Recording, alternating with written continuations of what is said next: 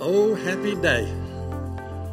So today we're here to announce that the City of Mobile is purchasing the Brookley by the Bay property from the University of South Alabama Foundation.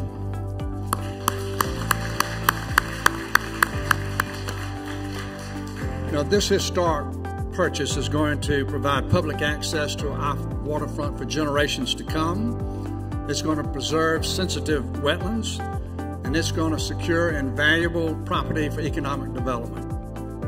This property has been talked about and identified as a green space since the 2001 Green Space Mobile Plan. Almost six years in active negotiation.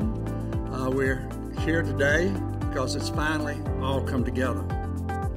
so let's look at a map. What is it we're talking about purchasing? There's something for everyone here. Uh, we have property for preservation, we have property for recreation, and we have property for economic development. Approximately 300 acres involved.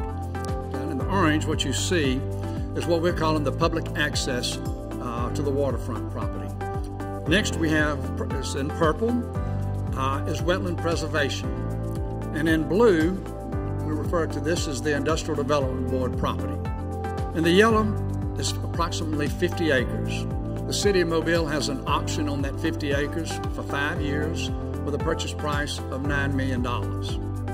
It, combined with other things that the airport is doing, will assure that we're on the right pathway to becoming the fourth largest location of the production of commercial aircraft in the world. I'd be remiss if I didn't say that I really believe this is an answer to prayer. My ongoing prayer is that God would continue to send the people and the resources to the city of Mobile to transform it into the city He wants it to be.